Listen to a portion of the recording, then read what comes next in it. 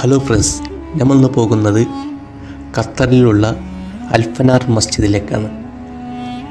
അതായത് സൂക്ക് വാക്കിഫിന് നേരെ എതിർവശത്തായിട്ടാണ് അൽഫനാർ മസ്ജിദ് ഉള്ളത്.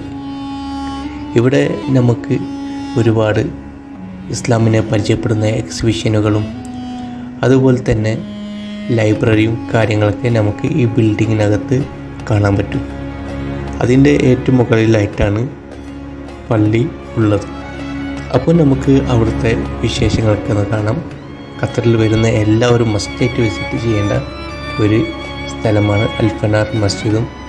അവിടെയുള്ള എക്സിബിഷനുകളും അപ്പം എല്ലാവരും വീഡിയോ ലൈക്ക് ചെയ്യുക കമന്റ് ചെയ്യുക സബ്സ്ക്രൈബ് ചെയ്യാനും മറക്കരുത്.